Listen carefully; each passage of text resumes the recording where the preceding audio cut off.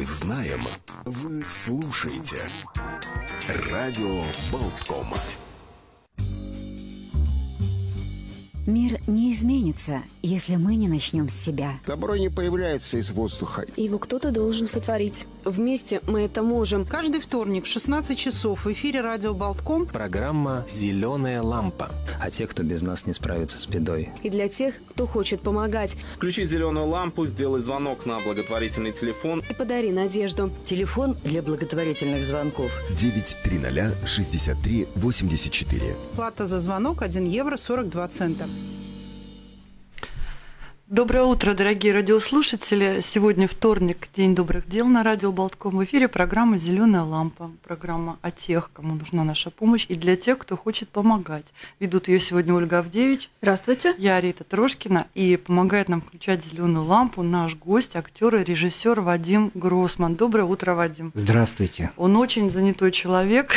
Он ставит, он буквально вот только что вот вышел спектакль, мы сейчас поговорим об этом, да, и о многих других его проектах интересных, поэтому не отходите от э, своих э, радиоприемников. Да. И хотим обратить ваше внимание, что в 16 часов каждый вторник э, в эфире нашего радио повтор нашей угу. программы. Угу. Да, и помогаем мы сегодня 14-летнему Тимоше Тимофею Акулевичу из Олайне, уже он второй раз этот сюжет о, о, Тимо, о Тимоше будет в нашей программе. У Тимофея с рождения редкое и сложное заболевание синдром Уильямса. Мы расскажем немножко подробнее чуть позже. А, это проблемы с сердцем генетические и, как следствие, отставания в развитии и в речи. Таких детей в Латвии всего 12. Очень нужна помощь, чтобы оплатить годовой курс терапии, который очень помогает ему, а прекращать его нельзя. И, к сожалению, вот эти вещи оплачивать должны только родители. Поэтому семья сама потянуть не может. Стоимость курса годового 5200 евро. Телефон помощи 9306384. Мы можем сделать звонок за евро 42 цента и изменить таким образом судьбу мальчика, которого ну, большинство, из, большинство из вас даже никогда не видели. Но, тем не менее, вот этим звонком можно повлиять на его судьбу и на улучшение его здоровья. Это совершенно точно. Мы напоминаем, что наш гость сегодня Вадим Гроссман, актер и режиссер. Буквально на днях, 29 апреля, прошла премьера моноспектакля «Человек из ресторана» в Рижском русском театре, и где Вадим э, выступил в качестве режиссера и актера. Э, это во всех ипостасях. Да, спектакль по мотивам э, русской классики, что вот, в общем-то, очень э, важно. Это повесть Ивана Шмелева «Человек из ресторана». А почему вы выбрали этот материал для себя? Ну, э, наверное, потому что меня так учили. Я еще являюсь автором инсценировки mm-hmm. этого произведения, поскольку это повесть, и она не была предназначена для театра, хотя я знаю уже, существует три опыта театральных постановок в России, например, и достаточно большие артисты сталкивались с этим материалом, и он очень трогает и волнует. И мне показалось, что этот материал, мне так кажется, что он очень необходим, да, и, и сегодня, потому что мир наш изменился, угу. мир э, меняется в сторону, которая мне не нравится, и я его хочу как-то тоже поменять. И в моих силах сделать что-то для того, чтобы люди задумывались о том, что мы все-таки люди. Угу. Я уже сказал, меня так учили, что в названии всегда скрыт смысл. Если в названии стоит слово человек, то, наверное, э, это очень важно сегодня нам лишний раз задуматься, что мы все люди. Человеческое. Вот, да. А как приняли спасибо, приняли очень хорошо. И э, я испытываю огромное счастье, когда я нахожусь на сцене и в зале э, умная тишина, mm-hmm. умная тишина, когда э, я вижу глаза людей, которые откликаются на то, что задумывалось, то, что хочется сказать, и это очень важно. Вот это значит, есть некий отклик, который говорит о том, что это лекарство, которое люди хотят принимать.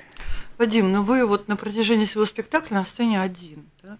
Как вам это вот удается держать внимание зала? Это же тяжело очень. Моно такой спектакль, монолог.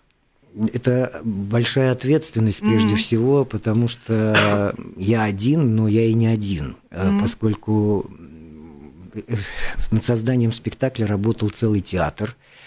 И даже если я начну перечислять э, все, кто косвенно или прямо принимали участие над этим спектаклем, то это займет какое-то время, да.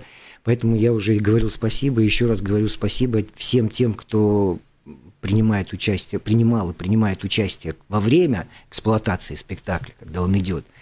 И поэтому, наверное, это и чувствуется, и это помогает, это дает какую-то какие-то силы, что за тобой э, находится очень много людей. Даже в зале, когда я смотрю, в зале не так много людей, э, 10 рядов, ну, у нас 50 мест, да, там, или 5 рядов. Это на малой сцене. На малой да? сцене, угу. да. Но последний ряд – это люди, которые и осветители, и звукооператоры, mm-hmm. и монтировщики Свои. и так далее. И, и это целый ряд. И я mm-hmm. понимаю, что э, ты не один. Коллективное творчество. Да. Вадим, а вот расскажите, там такой интересный режиссерский прием.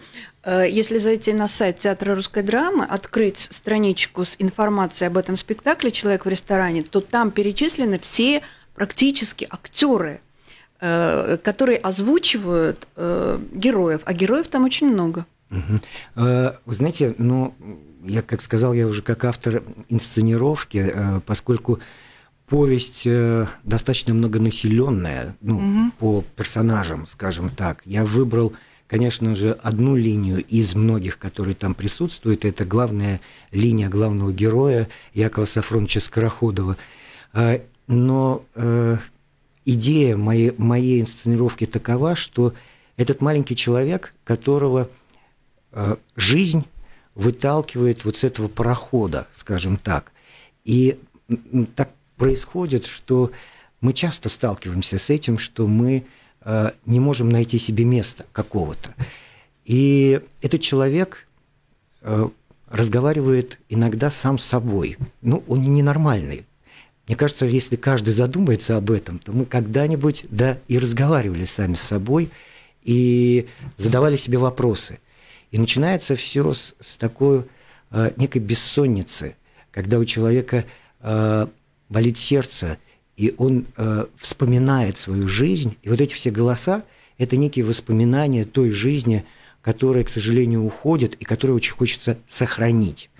И вот этот прием э, мне помогли осуществить мои коллеги, за что я им безумно благодарен. И э, на сцене вот еще присутствуют мои партнеры в качестве звука, угу. что тоже сильное выразительное ну, да, средство. это же энергия тоже. Но вот э, считается, эта повесть, она считается философская повесть. Там очень много размышлений, раздумий. Вы сказали, что вы выбрали одну линию э, вот, э, сюжетную этого героя. А вот какие представления вот этого вашего героя, вот этого человека, да, о том, что на самом деле важно и ценно? Ну, как я уже сказал, э, представления очень важны в том плане, что его ценности э, необходимые, что вот он человечен, он э, совестлив, ему стыдно за многие поступки людей. Ну, что такое ресторан? Ресторан – это наша жизнь. Мы когда идем в ресторан? Mm-hmm. Когда у нас происходят какие-то события яркие. Ну, символично. Когда мы празднуем или мы грустим, да, там, поминки или еще какие-то важные события в жизни. И на глазах этого человека проходит вся жизнь, весь срез нашей жизни.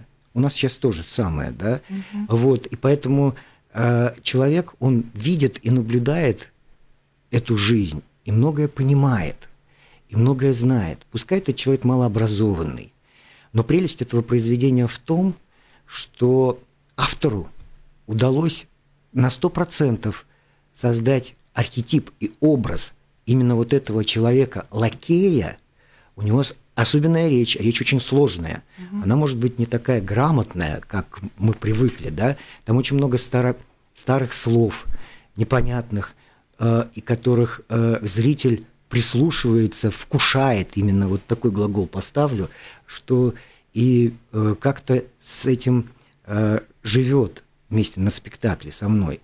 И, и мне кажется, что это доказывает одно. Когда автор сам Шмелев испытывал, например, ну это факт такой, э, голод да, э, в Крыму во время гражданской войны, э, то его кормили именно официанты, узнав, что он автор этой книги. Это был самый его большой гонорар, э, буханка ну, хлеба. Мощная деталь такая. Да, да. когда они признали э, в этом авторе истинного, ну такого, скажем, художника и правдолюба в этом плане. Вот интересный э, факт, э, литературный материал. Это Иван Шмелев, это э, представитель, он как уже русской эмиграции, да, номинировался на Нобелевскую премию по литературе дважды, в 1931-1932 году. Один раз его выдвигал знаменитый немецкий писатель Томас Манн. Как раз это был такой русский Нобелевский проект, и в те годы выдвигались Бунин, Мережковский, и самые известные, вот просто для радиослушателей, самые известные его книги это «Богомолье» и «Лето Господне». Вот «Лето Господне» очень рекомендуем обратиться, если mm-hmm. русской классике, э, почитать. И из, вот в начале, Вадим, вы сказали, что э, есть постановки, и, и там были заняты известные актеры, это наш Михаил Чехов и Константин Райкин. А, не только, ну да, Михаил Чехов э, он снимался в немом кино, mm. и есть версия мнения автора, да, то есть по воспоминаниям, что это кино ему не понравилось. Но я даже понимаю почему, потому что, еще раз повторяю, что в этом произведении огромное значение имеет слово. А немое кино, к сожалению, к сожалению, оно лишено этого. Комикс. Э, да, и там как бы Протазанов, это режиссер этого фильма, выделил одну из... Он написал свою инсценировку, все поместил это во времена гражд... mm Первой мировой войны, и многих героев там просто нету, да, ну, mm вот, но это, это и не важно.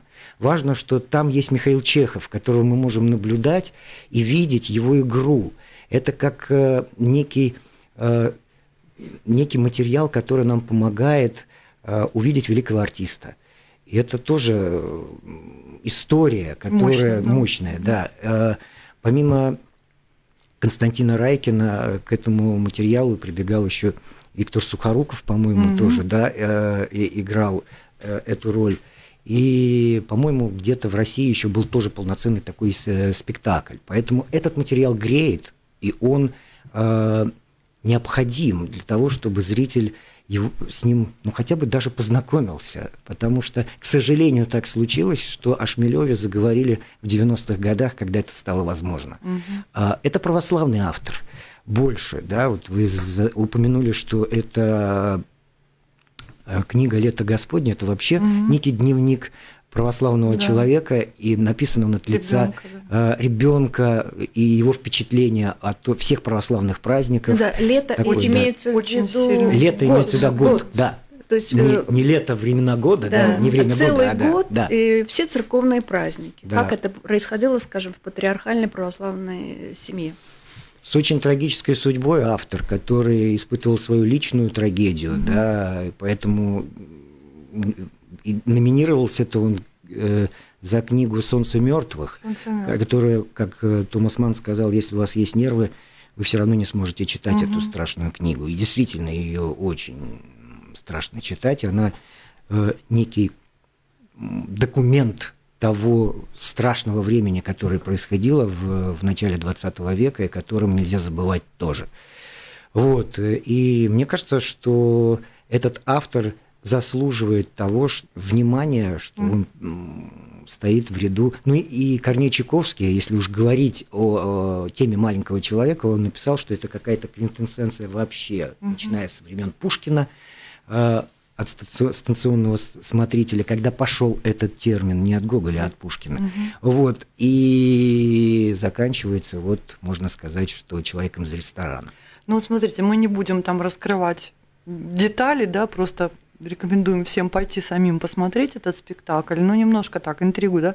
Скажите, вот э, масса событий, которые в жизни героя происходят, и вы это показываете на сцене, да.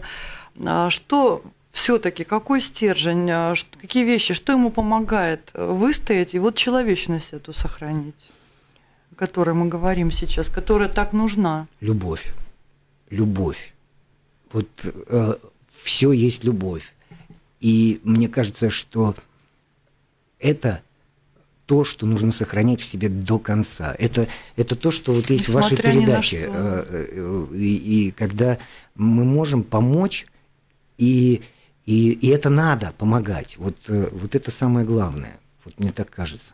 Еще, знаете, раз в неделю мы рассказываем некий сюжет, историю какой-то семьи, и каждый раз это история именно любви. Угу. Потому что семья, в которой случилась эм, болезнь, случилась беда, э, она поднимается на какую-то новую ступень, переосмысливает все, что было до того, возникает новый жизненный опыт, и это все трансформируется вот в любовь. Ну, То есть что каждый да, раз любые... это история любви. И в этот раз мы помогаем э, Тимофею, Тимоше, мы его знаем уже несколько да. лет. Э, можно сказать, что он под, подшефный такой мальчик нашего проекта. Подрос уже на наших глазах, да. И в семье появилась э, маленькая девочка, у него сестричка три года, то есть в семье двое детей. Алиса. Да, нужно содержать. Сейчас очень сложно, и понятно, что если такой тяжело больной ребенок, то мама не может полноценно никак работать и зарабатывать.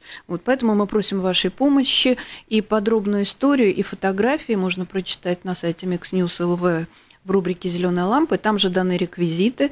В фонде Be Open открыт счет. С сегодняшнего дня к нему подключен благотворительный телефон. Всю неделю он будет работать для Тимоши. Поэтому приглашаем вас участвовать. Ну, я немножко чуть-чуть деталек можно добавлю, да, про этого мальчика, чтобы вы почувствовали. Мы, ну, во-первых, мы пришли, пришел он к нам на встречу с подарком. То есть он э, выпилил ну, с помощью там учителей на уроке выжигания они делают. И они, он выжег пасхальное яйцо, очень красиво. Он пришел и первое, что сказал, вот тебе подарок. Да, потом он сказал, пригласил всех на день рождения. Потом он попросил. Это мальчик, понимаете, он, он открытый настолько, доверчивый и открытый, а ему 14 лет. А, ну, вот, ну ребенок, ребенок еще, и он любит весь мир просто. Вот он хочет, он передай привет всем, всем, всем, всем радиослушателям, всем, кто будет читать, всем, всем, всем. Я всех люблю. И потом он, значит, нам спел этот рэп, который он для мамы сочинил, тоже «Милая мамочка, обними меня».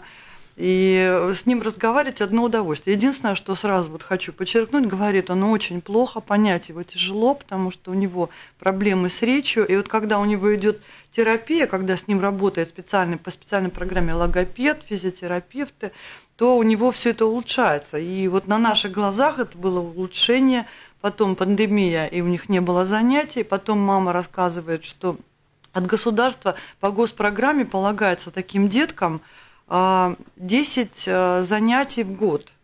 Логопед. Это вообще это не И они, они ну, 10, ему надо два раза в неделю. 10 занятий в год. Ну, хоть что-то, да, ну, ну и это хоть что-то надо ждать. Они ждали два с половиной года. Два с половиной года они стояли в очереди чтобы получить занятия с логопедом. Поэтому вот сейчас мы очень хотим помочь этому мальчику. У него опять начинает ухудшаться речь, он проглатывает слова, мама его переводит, но говорить он хочет, общаться он хочет. И еще вот эта маленькая деталь такая интересная, он с детства обожает музыку. Мы маму спрашиваем, а что он делает-то дома? Он говорит, он просто музыку, он может в 5 утра врубить музыку и танцует. Вот. И мечтал он всегда стать диджеем. Он нам первое, что сказал, я хочу быть, меня будут звать диджей Тимоха. Мы говорим, почему?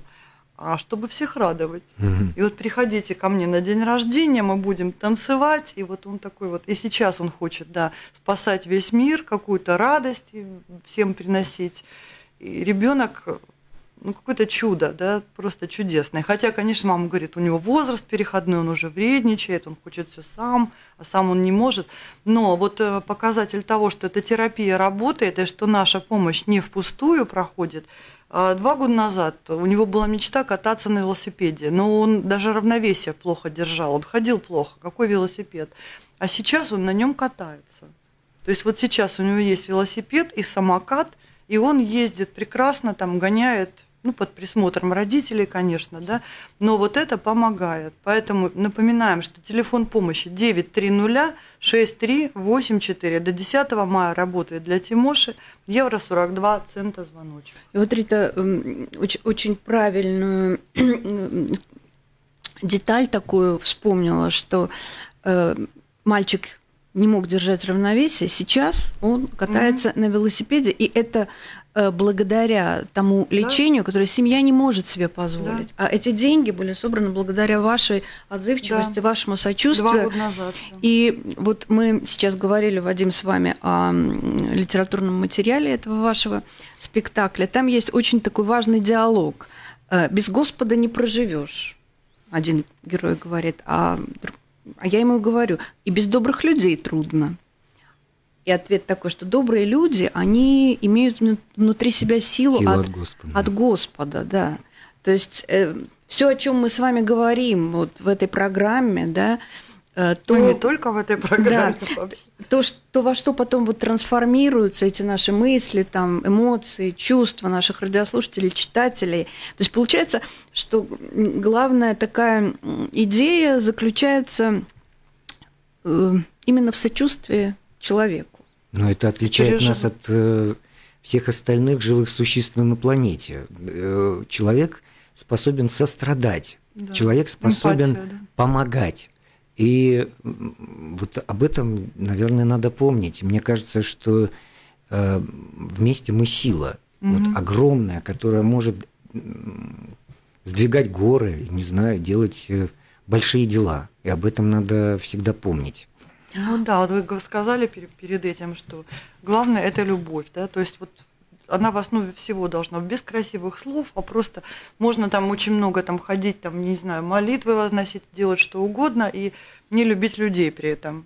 А можно просто, скажем, звону, я все про свое, да, набрать наш номер телефона 9306384, вот, и забыть про это. И этот звоночек полетит в помощь Тимоше – а вам будет хорошо, просто будет хорошо на сердце. Интересная деталь, вот это как раз то, что отличает человека. Да? Сейчас э, недавно опубликована была и в, социальных, в социальной сети, по-моему, я прочитала, что кто-то из ученых определил критерий э, развития цивилизации. Значит, э, отсчетом считается археологическая находка, скелет, у которого перелом бедра. Потому, mm-hmm. что, потому что, когда это случилось, с ним остался кто-то рядом, сросшийся, да, кто-то рядом, кто а приносил, да, приносил ему там еду, разжигал огонь в этой пещере, то есть он его не бросил, потому что, в принципе, э, этот перелом, это что на том уровне развития цивилизации это была смерть. И в какой, когда рядом оказался человек, который вот э, помог ему, э, чтобы сросла, срослась у него эта нога. Да, вот именно сочувствие, сопереживание. Началось. Очень интересно. Вадим, ну давайте вот э, вспомним ваши предыдущие режиссерские работы. Там очень ярко вы пока показывали, посвящали их двум женщинам, угу. очень разным. Это Фаина Раневская, Коко Шанель. Про, с которой начнем? Кого вы хотите? Мы хотим про обеих поговорить. А, ну, наверное, один режиссер, который как-то сказал, что у, у каждого режиссера есть своя тема. Mm-hmm. И вот, э, наверное, мне симпатичны люди, жизнелюбы, которые любят жизнь. И так случилось. Эти спектакли Э, э, по-разному возникали, рождались угу. в разных событиях, но их объединяет все. Еще у нас вышел еще один спектакль уже наконец-то в, в музее моды, на, на сцене музея моды. Это такой некий э, модный батл, да, посвященный э, моде. Это э, Коко Шанель и Эльза Скиапарелли. Та, которая, Та, которая шьет. да. Mm. И, ну, вот это такие три мои э, работы о известных личностях, угу. которых можно назвать э, жизнелюбами. Угу. Ну, а с Раневской, если мы начнем, потому что она была первой работой в этом угу. цикле, так скажем, да, а, мне кажется, что для меня этот спектакль, основная тема, это некая дань благодарности. Вот у каждого человека есть э, люди, которые всегда с тобой остаются. Вот они могут э, физически уйти, но э, они всегда с тобой. Я не знаю, вот когда э, ты смотришь телевизор, как-то возникает какой-то, читаешь книги, еще что-то, и это все время с тобой. И э, э, это какой-то э, такой был э, гимн вот этому тому, э, что составляет твою суть как личности. И он такой спектакль э, фантасмагорический, он построен немножечко на таком приеме, что э, Раневская э, пьеса так позволяла, я ее немножко переделал, что в пьесе. Она была посвящена Фаине Раневской, и там некая актриса, которая имеет э, похожее отчество и такое же имя. Мне показалось, что это автор лукавит, и я решил все-таки сделать э, спектакль ну, не автобиографический, а такой как бы ближе, ближе посвященный mm-hmm. именно Фаине Георгиевне Раневской. А спектакль называется, напомню, «Фуфа. Два сердца». Да, это наше название mm-hmm. мое, да, то есть э, сама пьеса называется «Два сердца», mm-hmm. а Раневская а именно «Фуфа», поскольку мы не делаем а, точную копию, ну там не существует сама Фаина Георгиевна, это и бесполезно, и э, чтобы быть это не программа точь-в-точь, да, скажем mm-hmm. так, чтобы mm-hmm. там э, и Ира Павловна Егорова, исполнительница роли Фаины Георгиевны, э, у нее нет такой задачи. Мы брали некую суть э, mm-hmm. персонажа и историю одиночества, mm-hmm. что такие люди, которые э, достаточно мощны, да, то есть они э, заканчивают одиноко, к сожалению. Вот так. И это некий такой, еще раз повторяю, э, ну, такой спектакль была благодарность за то, что такие люди делают тебя лучше. Ну, вот, знаете, мне вот в этом, в этом спектакле, в этом образе э, очень важна еще такая деталь, что это полное отсутствие пафоса. А вот такого человека, у которого он настолько не был, вот любовь есть, а пафоса нисколько нет, да? Все, что делала Фаина Раневская, оно очень живое, очень естественное. Кого-то может там даже там покоробить что-то и все. Но это живой человек. И у, у нее, вот у вас тоже прозвучало, что главное, что сострадание и доброта. В итоге она пришла, да?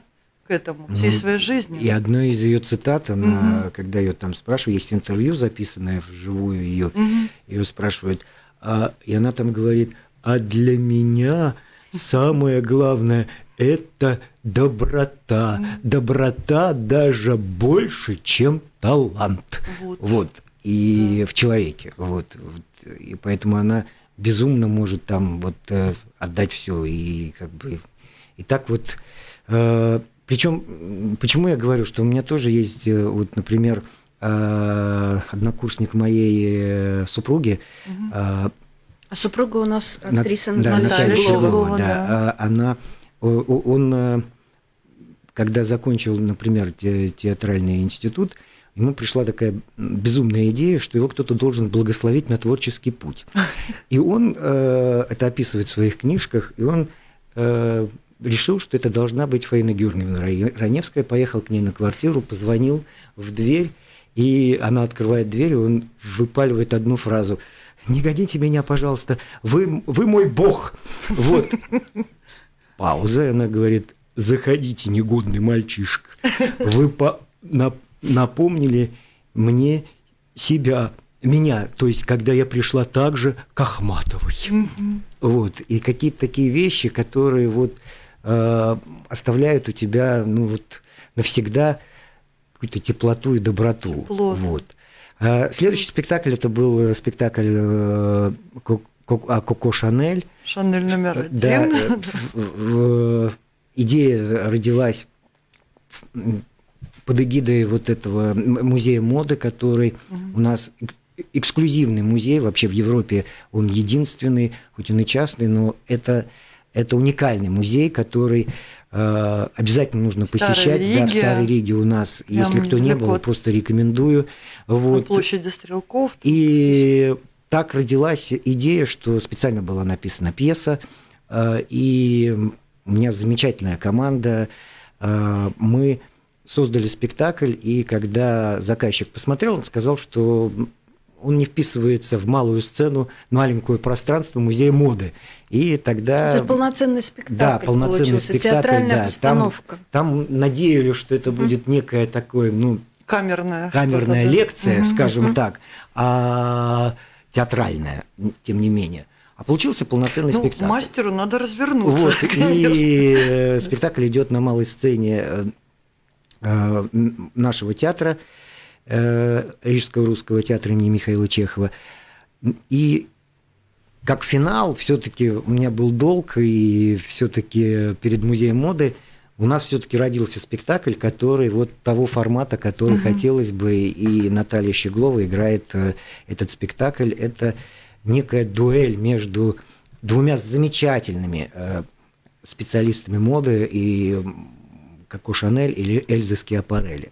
Вообще, я никогда не думал, что я буду заниматься этой темой. Я здесь совершенно ничего не понимаю. Не в этом. по моде, да? Но, э, но я вдруг поймал себя на мысли, что мода, она помогает жить.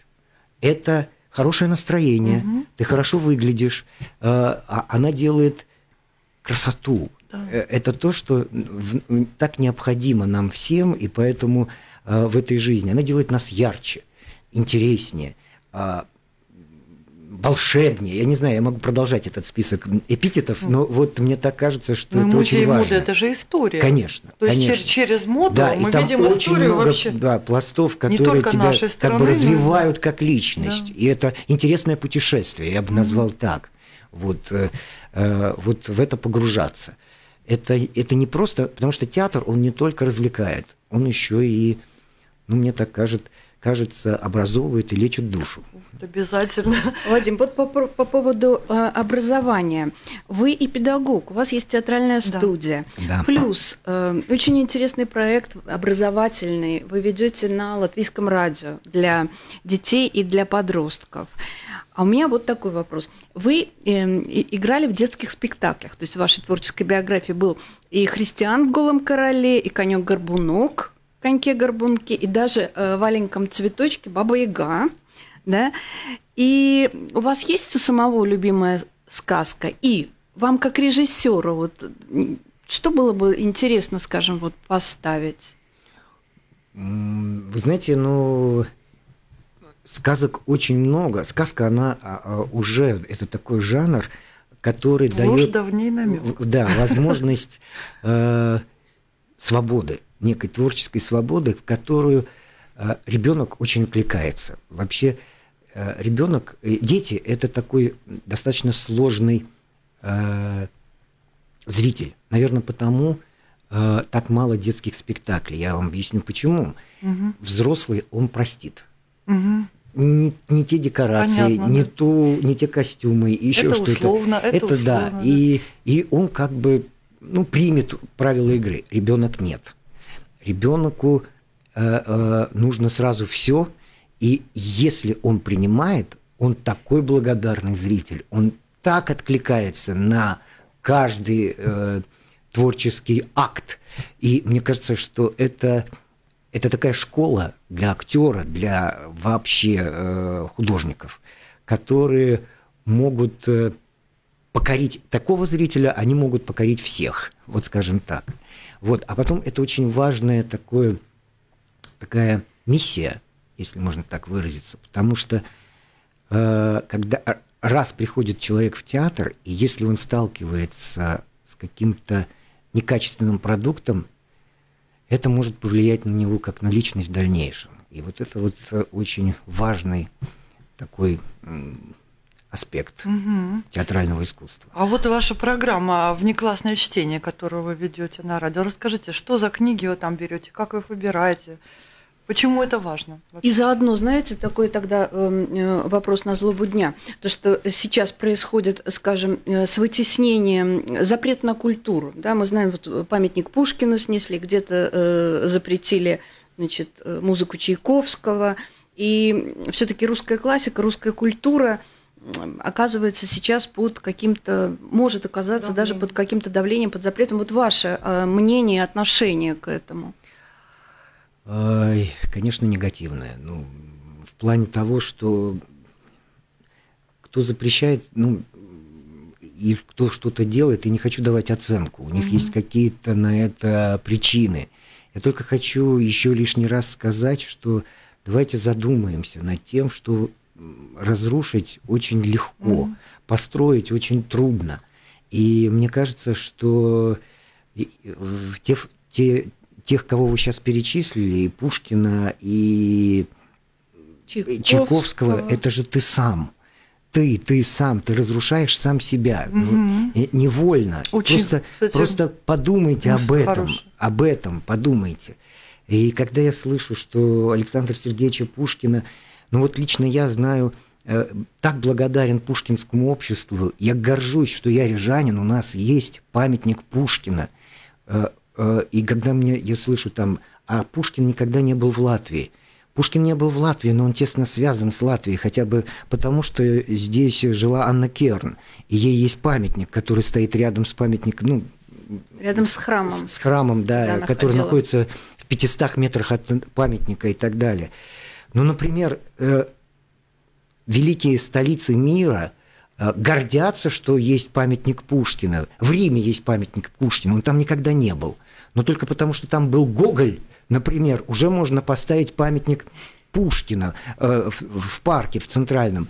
Э, он стоит, и ни один итальянец не задумывается, что он здесь делает, mm-hmm. и, и, и так далее. Э, ну, а Райнис, как писал о Пушкине, конечно, да? То есть это вообще конечно. возьмите, перечитайте и, Райнис. И, и переводы Пушкина mm-hmm. и так далее. Это, это же все вза- взаимосвязано. Это, это только обогащает. И это, это, ну, ну, это не сделает того, той, ну, вы не достигнете той цели, ради которой вы это делаете. Вы только усугубите и ухудшите все. Это вот мое мнение. Поэтому мне так кажется, э, больше я ну, не могу ничего сказать. Mm-hmm. Да?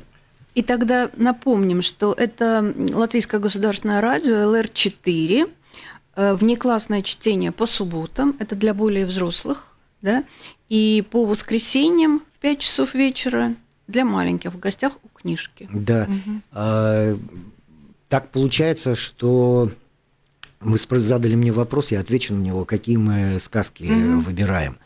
А те, которые волнуют меня, и те, которые волновали меня в детстве, и те, которые, на мой взгляд, будут э, иметь отклик у многих э, детей.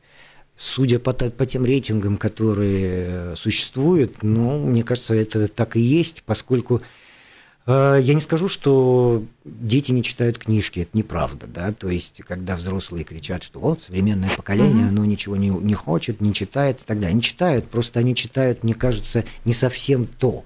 Э, и лишают себя, ну, вот э, я всегда своим ученикам всегда говорю, э, не стыдно чего-то не знать стыдно не хотеть знать.